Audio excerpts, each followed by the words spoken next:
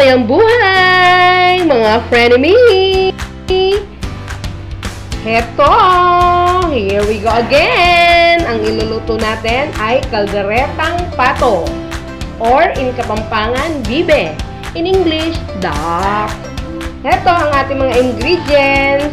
Siyempre, ang ating bawang, sibuyas, patatas, or potato, ang ating paminta, plus ang ating tomato sauce. Ayan. And then, syempre, lalagyan natin ng sile, bell pepper, and carrot. Lalagyan din natin ng toyo or soy sauce. At saka ng white vinegar or suka. At lagyan natin ng siling labuyo para may sipa ng anghang. Ang ating pampalasang ilalagay, pwedeng salt, asin, or patis. Depende sa inyo, mga frenemy, kung ano ang gusto nyong ilagay. Okay? At syempre, ang ating bibe or ang ating pato or duck ay... Eto siya! Kasalukuyang binabalibuhan! Ayan o, pakita mo yung... Ay!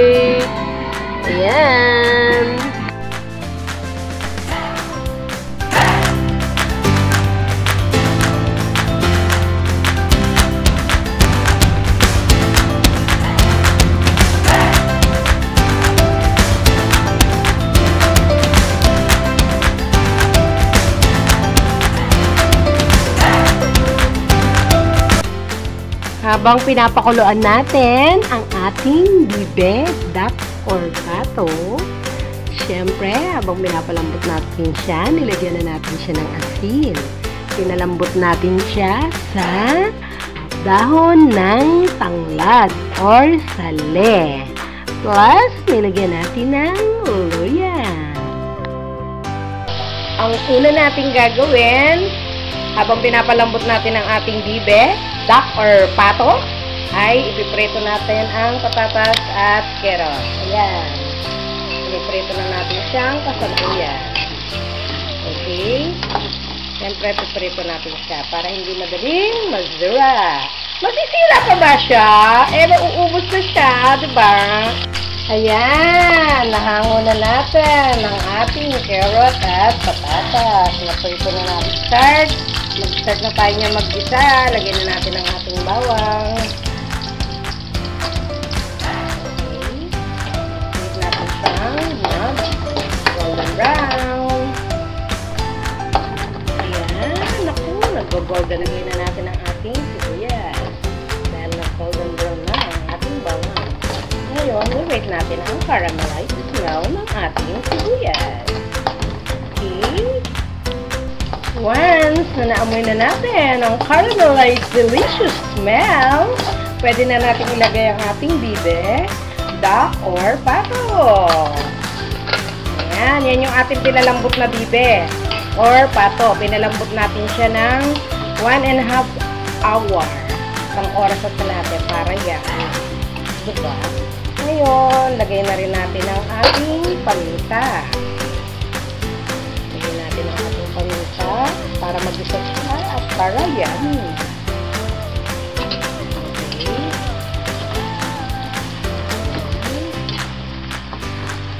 Pwede na rin natin ilagay ang ating siling labuyo para may zipa ng unghang.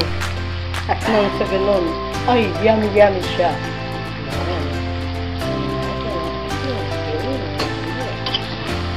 Saka para kumagat siya yung anghang sa bibig. Para matanggal yung lansa niya. Okay. Shimmer muna natin siya. Pagkakalin natin. Okay. Let's check it out! Nagulat kaya, no? Laki na lalagyan, no? Nilipat ko kasi hindi kasi sa maliit nating kastrola. Ito. Yay! Dami kasi ng ating bibe. Dagdagan natin ng paminta. Ng isang paminta lang nilagay natin kanina. Dagdagan pa natin ng isang paminta. Okay, ngayon, lagyan natin ng Sprite para yummy. Lagyan natin ng dalawang Sprite. O, diba?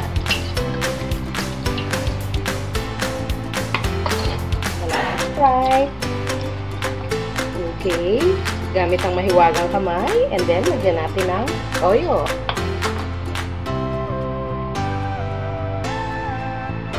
Okay.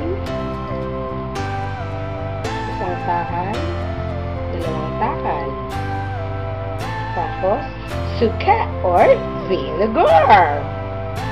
Lagyan natin ng vinegar na white vinegar. Ito mga ano to, mga limang takal siguro.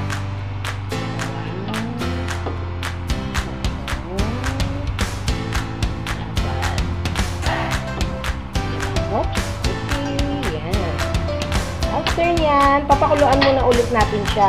Takpan na natin. Sabi na natin. Ang bango! Grabe! Ngayon, lagay na natin ang ating tomato sauce. Dalawang nagkapag.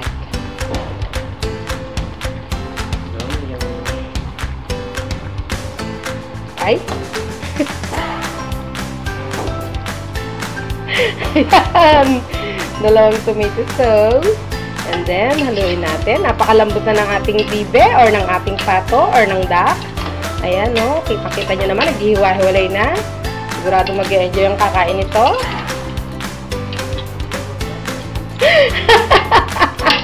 Ngayon, pwede na natin ilagay ang ating pinulitong patatas at carrot. Ayan.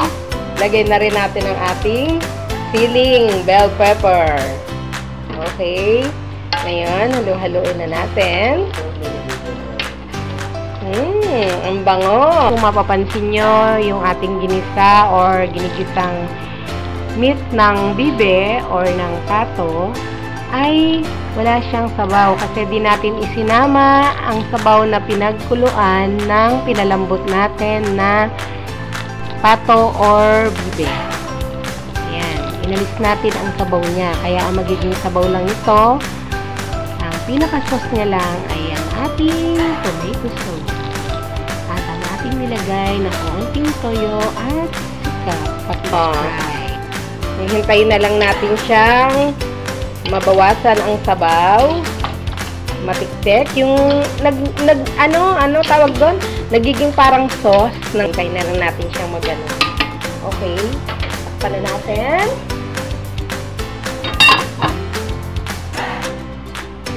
Tuwipin na natin. Wow! Ang bango-bango!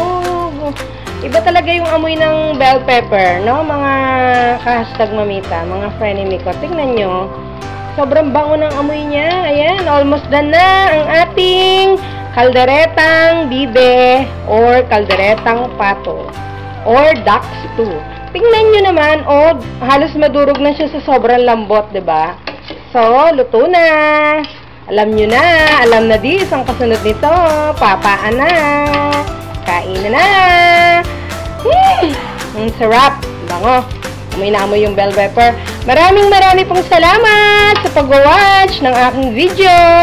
At sa mga hindi pa po nag-watch at nagsasubscribe sa aking YouTube channel, please watch and subscribe to my YouTube channel, ang hashtag Mamita. Pwede ring i-like, pwedeng i-share, at pwedeng i-click ang bell button para updated kayo sa mga walang kakwenta-kwentang video ni Mamita. See you again next time. I love you all and God bless. Bye-bye. Mwah, mwah, choo-choo. Thank you for watching.